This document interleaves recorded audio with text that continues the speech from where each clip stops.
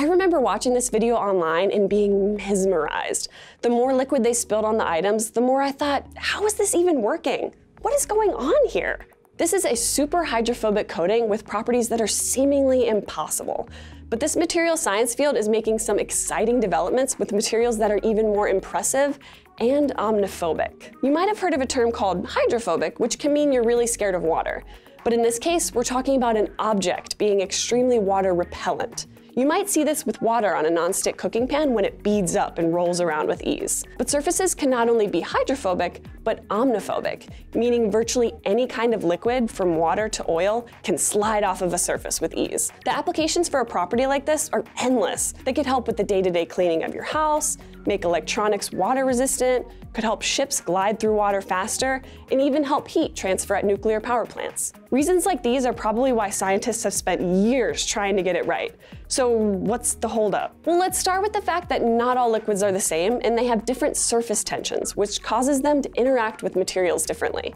Let's take water, for example. Inside the liquid, there are intermolecular attractive forces at play, meaning the water molecules want to cling together, But when there are dissimilar molecules above them, like air for instance, those cohesive forces help the water molecules bond stronger with their neighbors, creating a thin barrier of sorts.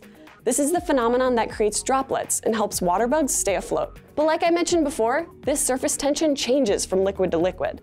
Water has a very high surface tension, whereas oil has a very low surface tension, so it seeps into everything. So knowing that, material scientists have created nanostructures made of small pillars spaced out just enough so that liquid can sit on small pockets of air. That way, the liquid's own surface tension lifts it up, causing all of these beads and droplets to form. And it totally works, but it relies on every pillar being perfect, and this structure is only as strong as its weakest link. If one pillar breaks, the liquid can seep through the air pockets, and there goes all your omniphobicity. And just to keep things more complicated, the materials also have to withstand condensation. If water vapor makes its way into the pockets within the omniphobic structure, it can condense into liquid and destroy the repelling properties. This has been one of the biggest hurdles that material scientists have tried to overcome. And now researchers at MIT are tackling this problem head on. They've used nanotechnology to create not only microscopic, but condensation-resistant T-shaped structures. The difference between this new development and earlier studies is that they made the air pockets disconnected rather than connected. This disconnection would prevent a liquid from penetrating a single air pocket and spreading throughout the whole material. They've nailed a proof of concept, but they still need more work to bring it into market. But MIT isn't the only team working on omniphobic materials. A US Navy-funded project from the University of Michigan made an omniphobic coating. Instead of building it, the material can be sprayed on. And as far as durability and clarity goes, it's one of the best coatings yet. Typically, researchers mix together a filler, giving it repelling properties, and a binder, giving it durability. But that doesn't always work. Instead, the team focused on a property called miscibility.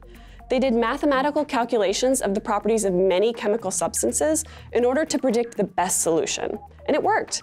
Their coating is clear, durable, can be applied to numerous surfaces, and sheds just about any liquid.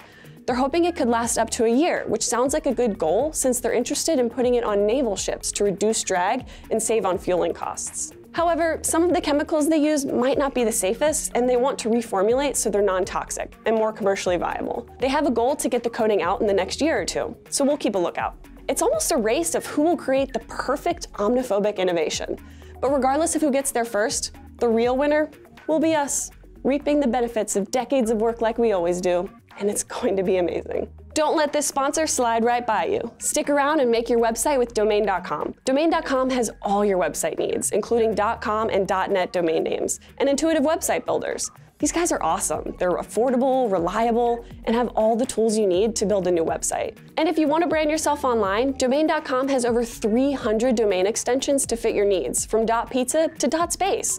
The guys at Domain.com love Elements, and to show their love, they're giving you 20% off their already affordable prices. Use coupon code ELEMENTS at Domain.com's checkout for 20% off. When you think domain names, think Domain.com. One last fun fact before you go. The MIT design is so nice to look at because the periodic nanoscale features on the surface diffract light, causing the colors in the image. If you love material sciences like this, then go ahead and subscribe. And don't forget to watch this video about how we're making these even stranger materials better for electronics. Thanks so much for watching.